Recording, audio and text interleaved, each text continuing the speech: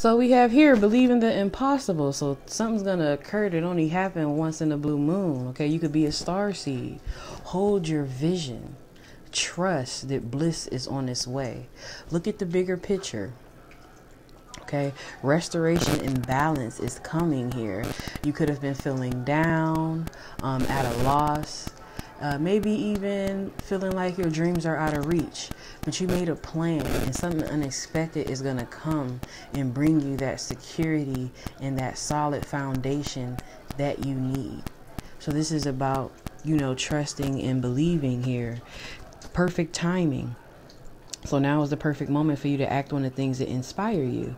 The doors are open for you. We have law of attraction. So think and attract the things that you want.